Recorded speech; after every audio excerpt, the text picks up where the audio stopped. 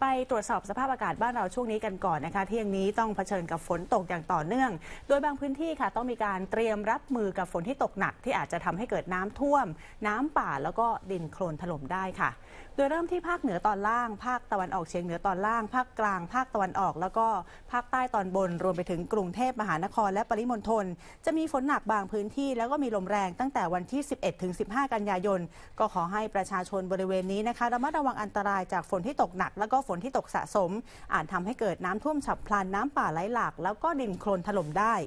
สำหรับพื้นที่เสี่ยงฝนตกหนักถึงหนักมาก และฝนตกสะสมมี 20 จังหวัดด้วยกัน ก็คือแม่ฮ่องสอน เชียงใหม่ ลำพูน ลำปาง ตาก กำแพงเพชร ชัยภูมิ นครราชสีมา บุรีรัมย์ สุรินทร์ ศรีสะเกดอุบลราชธานี ปราจีนบุรี จันทบุรี ตราด กาญจนบุรี อุทัยธานี นครสวรรค์ ลบบุรี แล้วก็จังหวัดสระบุรีค่ะ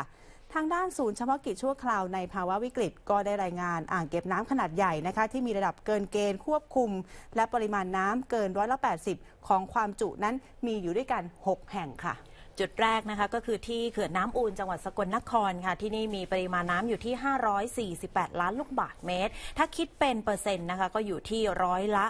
105 ของความจุอ่าง มีพื้นที่ที่ได้รับผลกระทบจากระดับน้ำที่สูงกว่าตลิ่ง ที่บ้านนาว่าอำเภอนาว่าจังหวัดนครพนม บ้านพอกใหญ่อำเภอพนานิคมนะคะ ก็แจ้งเตือนไปยังพื้นที่ลุ่มน้ำสงครามตอนล่าง ตั้งแต่อำเภอพนานิคม ไปจนถึงท่าอุเทนจังหวัดนครพนม ต้องเฝ้าระวังและติดตามสถานการณ์ค่ะ ส่วนที่เขื่อนแก่งกระจานจังหวัดเพชรบุรีค่ะ ปริมาณน้ำ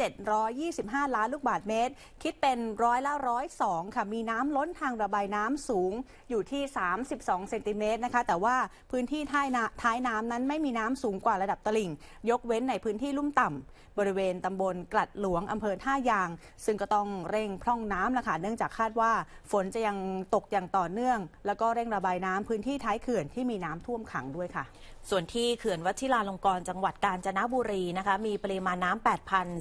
8,427 ล้านลูกบาศก์เมตรนะคะคิดเป็นร้อยละ 95 ของความจุอ่างค่ะ ขณะที่พื้นที่ท้ายน้ำไม่มีน้ำที่สูงกว่าตลิ่งนะคะ ซึ่งตอนนี้มีการระบายน้ำเป็นวันละ 58 ล้านลูกบาศก์เมตร ซึ่งก็จะมีการปรับเพิ่มหรือว่าลดการระบายน้ำให้ไม่เกินความจุของลำน้ำแควน้อย แล้วก็มีการแจ้งเตือนพื้นที่ท้ายเขื่อนให้ทราบถึงแผนการระบายน้ำด้วยส่วนเขื่อนศรีนครินจังหวัดกาญจนบุรีค่ะ ขณะนี้มีปริมาณน้ำ16,271 ล้านลูกบาศก์เมตร คิดเป็นร้อยละ 92 ค่ะ ได้ระบายน้ำผ่านเขื่อน 5 ทุ่งนา 26 ล้าน6แสน7หมื่นลูกบาศก์เมตร จากแผนวันละ 28 ล้านลูกบาศก์เมตร ตั้งแต่วันที่ 7 ถึง 13 กันยายน โดยปริมาณน้ำที่ระบายค่ะยังไม่เกินความจุของลำน้ำแควใหญ่ ส่วนการปรับเพิ่มลดจะควบคุมปริมาณน้ำไม่ให้เกินความจุของลำน้ำแควใหญ่ ที่สถานีบ้านหนองบัวค่ะ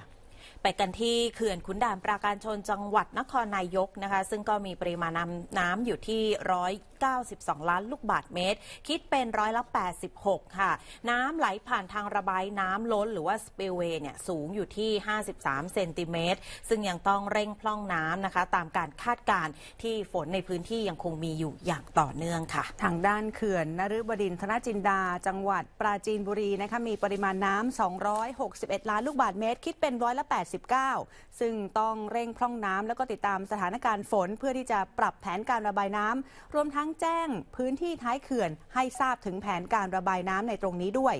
ส่วนอ่างเก็บน้ำในพื้นที่ภาคเหนือตอนบน แล้วก็ภาคตะวันออกเฉียงเหนือตอนบน ให้วางแผนปรับลดการระบายน้ำตามการคาดการปริมาณน้ำฝน ที่มีแนวโน้มลดลง ในช่วงเดือนกันยายนถึงตุลาคม โดยอ่างเก็บน้ำที่มีปริมาณน้ำน้อยกว่าร้อยละ 60 ของความจุ ต้องวางแผนกักเก็บน้ำและเติมน้ำเพื่อโดยประสานกับทางกรมฝนหลวงแล้วก็การบินเกษตรค่ะ